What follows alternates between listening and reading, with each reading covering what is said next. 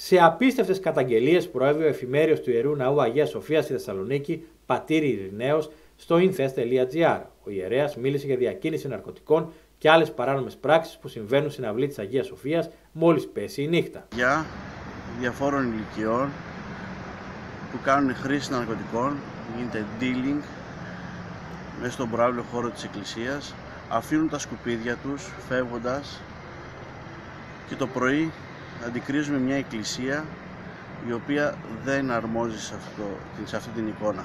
Δεν αρμόζει αυτή η εικόνα μάλλον στον προάβλιο χώρο του ναού.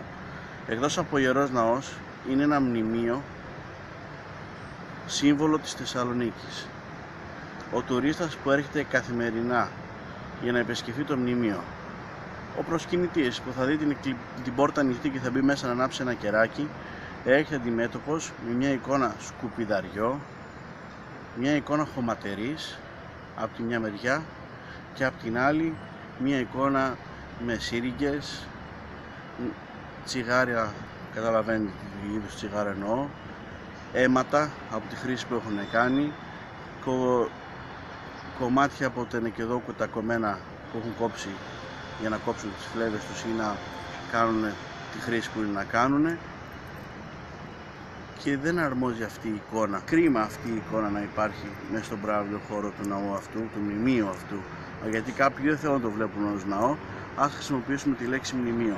Είναι κρίμα αυτή η εικόνα ενέτη 2019 στη Θεσσαλονίκη. Στο ιστορικότερο μνημείο της Θεσσαλονίκης να υπάρχει αυτή η εικόνα. Να ερχόμαστε αντιμέτωποι καθημερινά με αυτή την εικόνα.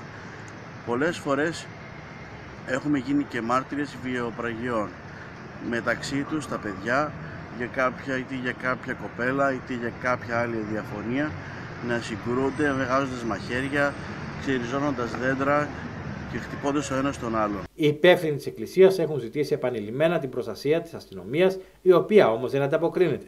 Παράλληλα, δεν ικανοποιείται το αίτημα για τοποθέτηση περίφραξης, με αποτέλεσμα η κατάσταση συνεχώς να χειροτερεύει. Υποτίθεται ότι η αρχαιολογική υπηρεσία ή θα έκανε κάποιες κινήσεις για να βάλουμε την περίφραξη. περίφραξη υπήρχε παλαιότερα, αλλά λόγω πολύ παλαιότερα.